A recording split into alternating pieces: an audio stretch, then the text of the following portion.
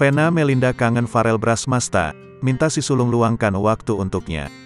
Kabar tak sedap datang dari selebriti Vena Melinda. Ia diduga mengalami kekerasan dalam rumah tangga, KDRT, oleh suaminya Ferry Irawan.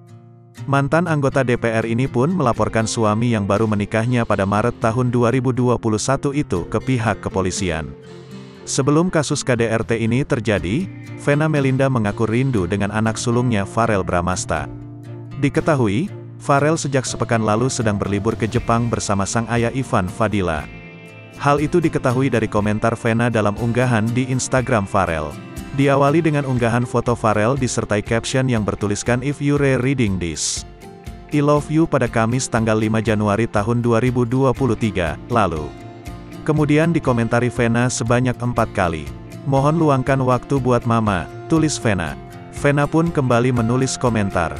Miss you kakak. Farel pun membalas Miss you ma, next trip bareng ya. Vena Melinda pun langsung mengirimi pesan lagi yang menyiratkan keinginannya untuk bertemu dengan sang putra.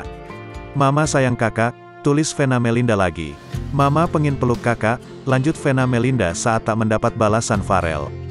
Sebagai informasi, Vena Melinda diperiksa penyidik Subdit 4 Renakta di Treskrimum Mapolda Jatim, hari ini atas kasus dugaan KDRT yang dilakukan Ferry Irawan.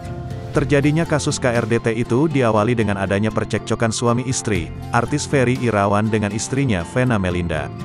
Percekcokan itu terjadi di salah satu hotel yang ada di daerah Kediri, Kota Jawa Timur pada Minggu, tanggal 8 Januari tahun 2023, kata Kabit Humas Polda Jatim Kombes Dirmanto kepada awak media.